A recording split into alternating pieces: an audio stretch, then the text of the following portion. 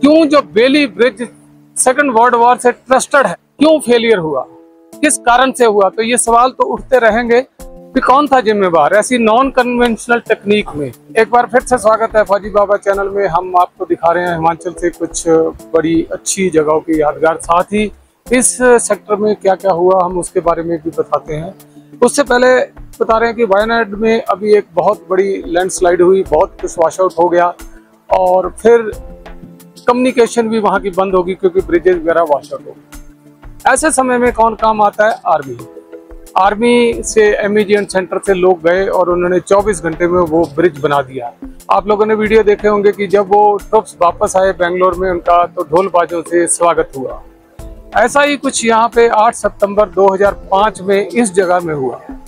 ये bridge wash out हो गया। आर्मी आई ब्रिज बनाने के लिए। पर ये लोग इतने सौभाग्यशाली नहीं थे कि वो लौट के अपने घरों को जाते। यहाँ पे कुछ ऐसा हुआ कि ये ब्रिज बनाते बनाते बीच में कोलैप्स हो गया।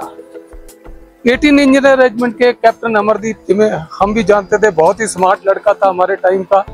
और ये बाकी तैतीस लोग जो यहाँ पे ब्रिज पे खड़े थे, उस टाइम में ऑलमोस्ट कंप्लीशन पे था और कुछ लोग बाहर को आ रहे थे, कुछ खड़े थे। और अचानक से ब्रिज टूटा और ये नीचे सब लोग जो है सतलुज में जा गिरे यहाँ पे जो केबल थी, उसमें कुछ लोग लटकते रह गए। किस तरह से ब्रिज बन रहा था, क्या ये स्टैंडर्ड प्रोसीजर था, वो नहीं उसके बारे में अभी हमें पता। पर ये सतलुज का करंट देखिए आप, कितना फास्ट है यहाँ पे।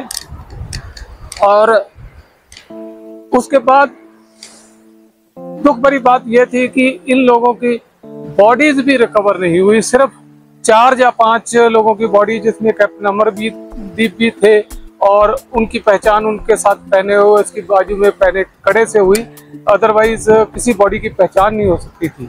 तो ये लोगों ने पीस टाइम में मेरे को लगता है कि इंजीनियर्स की ये सबसे बड़ी एक कुर्बानी थी, बड़ा इंसिडेंस था, जो आज इतिहास में दब गया है। कई सवाल हैं जो उठते हैं उस पर कौन था जिम्मेवार? ऐसी नॉन कन्वेंशनल टेक्निक में क्यों जो Bailey bridge second world war से ट्रस्टेड है?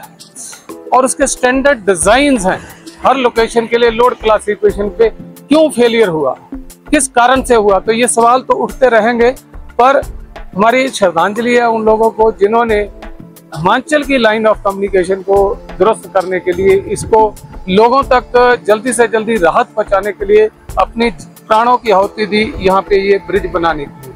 यहाँ पे आप देख सकते हैं कि कितना तेज पानी भी है और उस टाइम तो बरसात थी और वो पुराना जहाँ पे ब्रिज था, यहाँ से वाशत हुआ और यहाँ पे ये दूसरी अपार्टमेंट है जिसपे काम चल रहा था और यहाँ पे ब्रिज क्लॉप्स हुआ और इस सतलुज के अंदर वो जिनके नाम आज इस बोर्ड पे लिखे हुए देखिए, ये डाउन स्ट्रीम का आपको जो दिखा रहे हैं विजुअल जिसमें देखिए पानी कितना तेज जा रहा है, क्योंकि यहाँ पे रिवर बहुत नैरो है और नीचे पत्थर है। हमारी ये छोटी सी वीडियो एक श्रद्धांजलि है उन लोगों के लिए यूनिफॉर्म के लोग जो यहाँ अपना वर्दी का फ़र्ज़ निभाने के लिए आए और यहाँ से लौट के अपने घरों को नहीं जा सके। हम उन परिवारों के साथ खड़े हैं जो इस तरह से जिनको सफ़र करना पड़ा। ये देखिए, कुछ लोगों के नाम है मेमोरियल का कोई खास नहीं बना, पर फिर भी नाम लिखे हुए हैं यहाँ।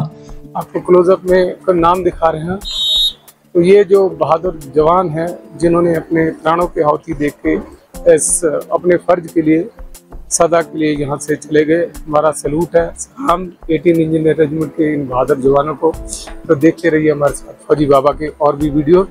इसी तरह से और एक बार ज़रूर अगर अच्छी लगे तो आप सर्कुलेट करिए ताकि इन शहीदों को एक बार फिर से याद किया जाए और हम इसको नमन करें। धन्यवाद।